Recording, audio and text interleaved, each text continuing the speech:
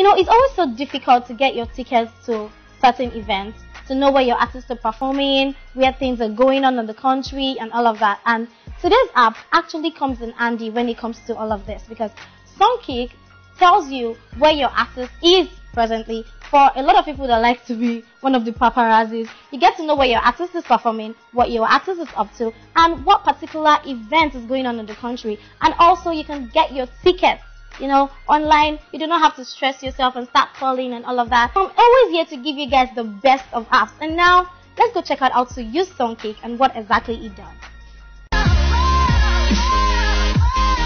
Certified apps.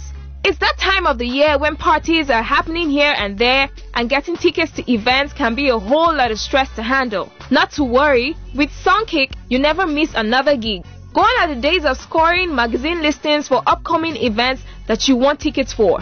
This app allows users track their favorite bands, receive email alerts, and purchase tickets. Songkick plugs directly into Spotify or Google Play and alerts you whenever your favorite artists are on tour near you. Buy tickets in the app or just use it to keep tabs on your favorite artist. Either way, you get to keep up with your favorite artist and won't need to do the research yourself again.